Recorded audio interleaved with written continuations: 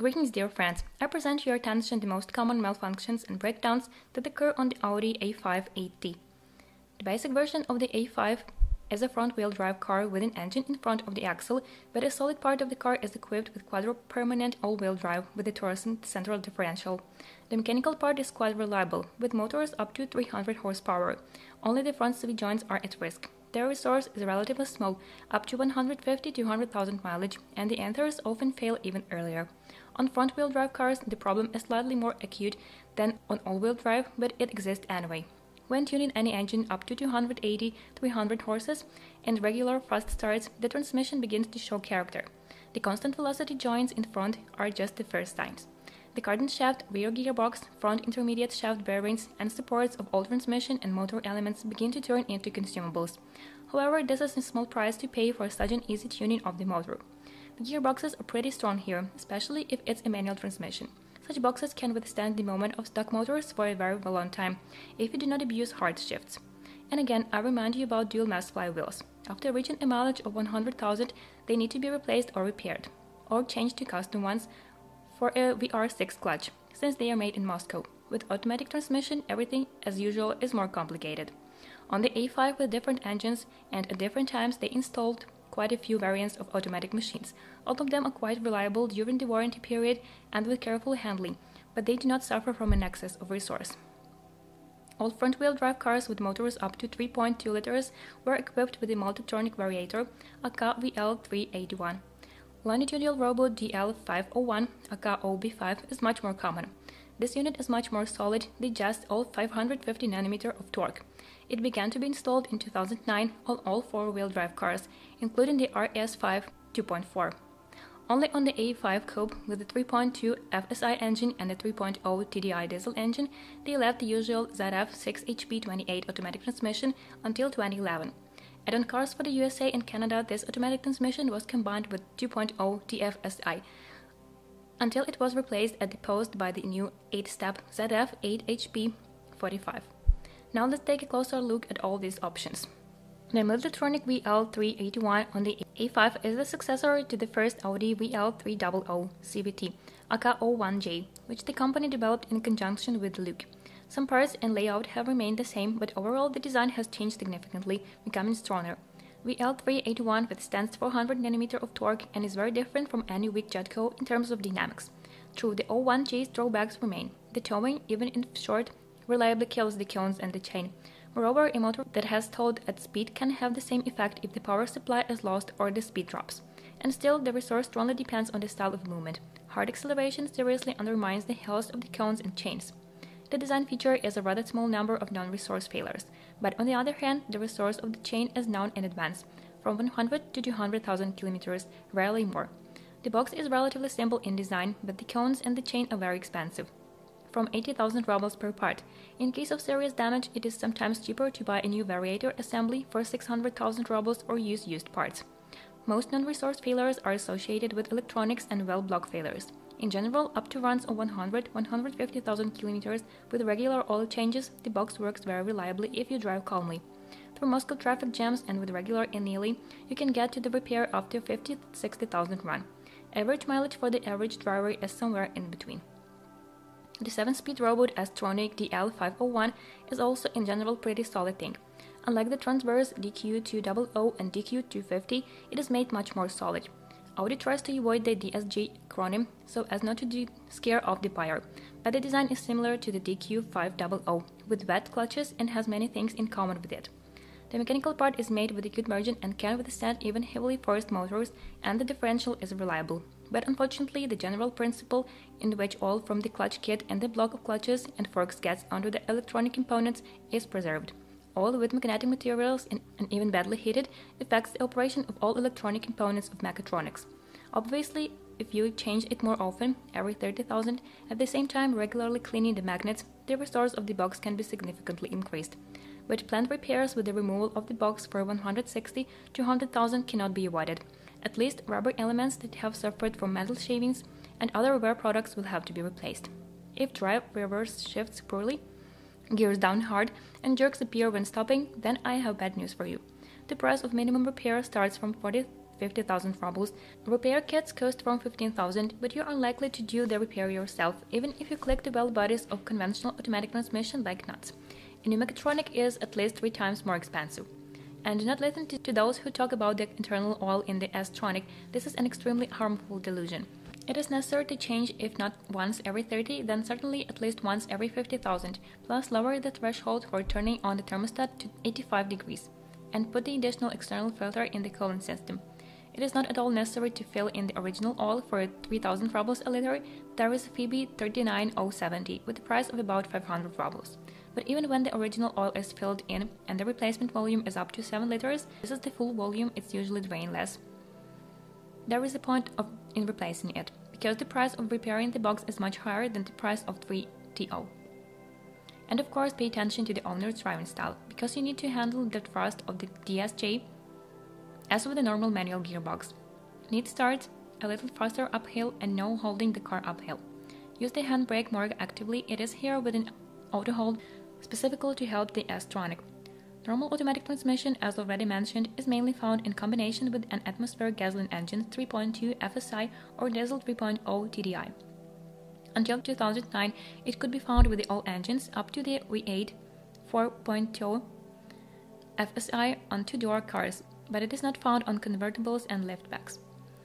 The ZF 6HP28 is not the most reliable automatic transmission from the existing ones, in any case, the resource of the gas turbine engine and the mechanical part is very limited, and the mechatronic has a lot of trouble, but it is easier to use than a variator and the perselective robot. It withstands harsh exploitation better and is also cheaper and easier to repair. Cheaper but not cheap.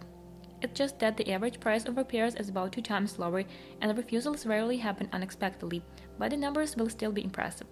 In fact, the problems are exactly the same as those of the younger brother in the person of 6HP19 and the methods of struggle are similar. Frequent oil changes, lower operating temperatures, external filter. Unlike the S-Tronic, this automatic transmission almost doesn't suffer from minor malfunctions up to the mileage limit and tolerates traffic jams and difficult driving conditions more easily. Of course, due to slightly worse dynamics and fuel consumption, well, the price, of course. Buying cars of the first year of production with ZF automatic transmission is not a panacea. I repeat, 6-speed gearboxes have a relatively small resource, although they are perfectly repaired. Robots are not so bad, especially if the mileage is not twisted. The oil is clean and changed, and up to this critical 200,000 there is still a reserve of at least 50,000 runs. The mechanical part of such boxes has a solid resource and easily transfers the tuning of motors, and the mechatronics can be replaced in the assembly with a used one from a more zealous owner or repaired, which is not so difficult to do now. There are both spare parts and specialists. Audi motors of this period are far from being the eternal designs that are legendary. The choice of A5 buyers between the relatively practical inline 4 and much more expensive in operation V8 and V6 are usually made in favor of gasoline 1.8 and 2.0 series EA888. Although even if the simple 1.8 and 2.0 TFSI are quite expensive to operate, they have many problems and weaknesses.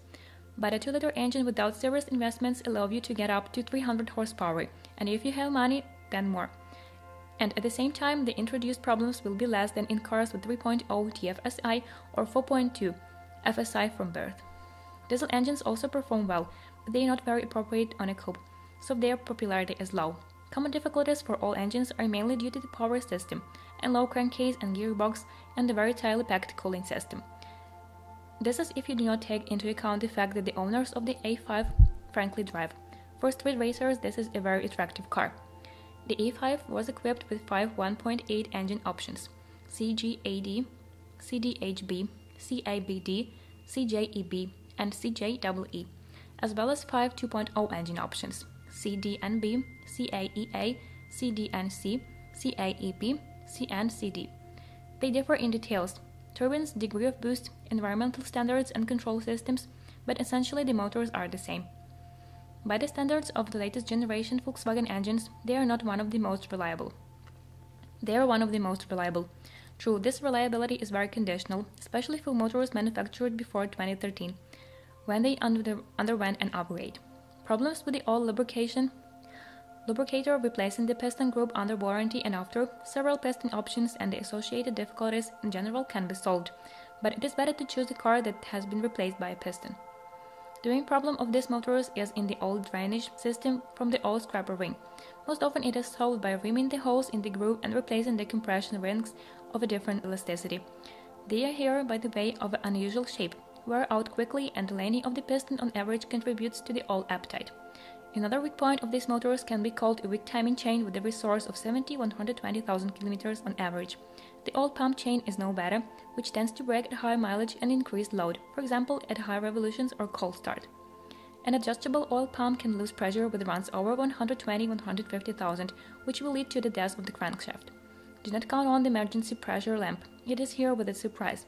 It lights up only when the speed rises and there is almost no pressure. The motor can easily and naturally go to the landfill, and the driver will not even suspect about the upcoming surprise if he is not inclined to listen to every rustle. The conclusion is simple. After 100,000, it is better to change the oil pump preventively. A pump in a block with a thermostat and even in a plastic case is a common source of leaks, and the cooling system here operates at increased pressure and temperature, unless the thermostat is replaced with a cold one in advance. As a result, antifreeze leaks are frequent and plastic and rubber elements wear out quickly. All leaks are also regular. The reason is the weakness of the ventilation system and high temperatures. It is necessary to monitor the health of the PCV valve and the safety of all tubes, as they quickly coke and literally creep after 5 to 6 years. Few problems, the intake valves also coke, because there is direct injection. It is difficult to wash off the coke, and scuffing on the cylinder mirror and damage to the valves from pieces that have fallen off the frequent are frequent, so a preventive cylinder head bulkhead is just as great idea as replacing the oil pump. Fuel equipment is very expensive and can be a lot of hassle. It is especially unpleasant that many elements do not regularly change separately.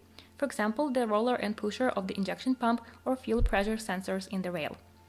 The turbine bypass valve is a consumable, especially when forcing, and the ignition coils fly. Many owners try to use red coils from the R8, but it doesn't help much. Fortunately, motor rarely fail right away. There are strong pistons and good monitoring of parameters, a durable cast iron cylinder block and pistons. But on the other hand, you can spend many days in the service in search of another reason for knocking, underblowing or overheating.